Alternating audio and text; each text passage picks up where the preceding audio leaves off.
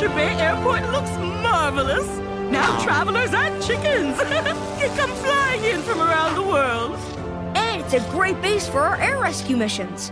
Can I give you a tour before the big grand opening? Yes, please. Take it away, Rubble. I'm just finishing painting up lines on the runway. It's where the planes take off and land.